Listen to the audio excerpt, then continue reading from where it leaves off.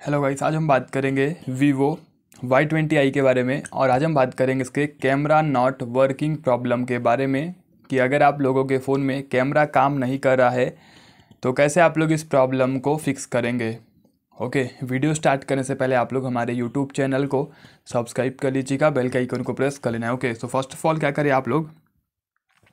आ, आप लोग जाएँगे अपने फ़ोन के कैमरा को लॉन्ग प्रेस करेंगे ऐप इन्फो पे जाएँगे इसके। उसके बाद आप लोग को स्टोरेज इन कैचअप पे क्लिक करके आप लोग का स्टोरेज इसको क्लीन कर देना है। स्टोरेज क्लीन करने में क्या होगा कि अगर कोई भी गलत एक्टिविटी हुई होगी तो वो डिफ़ॉल्ट हो जाएगी और आप लोगों की प्रॉब्लम भी फिक्स हो जाएगी।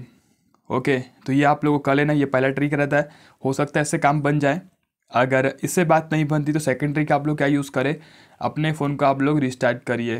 काफ़ी चांस है कि आप लोगों की प्रॉब्लम फिक्स हो जाएगी। स्विच ऑफ़ करके स्विच ऑन करने के बाद उसके बाद तीसरी टिक हम यूज़ करेंगे फ़ोन को अपडेट करके। ओके सिस्टम को अपडेट कर लेना आप लोग को। हो सकता है सॉफ्टवेयर अपडेट आया होगा तो इसमें कुछ सॉफ्टवेयर में कुछ बग आ गया होगा, जिसकी वजह से ये प्रॉब्लम आ रही है। तो आप लोग सिस्टम को अपडेट करके भी आप लोग अपनी प्रॉब्लम को फिक्स कर सकते हैं। ओके तो ये आप लोगों को कर लेना है।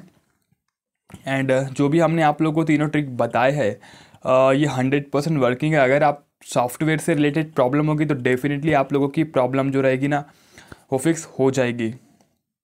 ओके सो इस टाइप से आप लोग अपनी प्रॉब्लम को फिक्स कर सकते हो और अगर हार्डवेयर की प्रॉब्लम है तो हो सकता है कि आप लोग के फ़ोन कैमरा ही ख़राब हो गया होगा।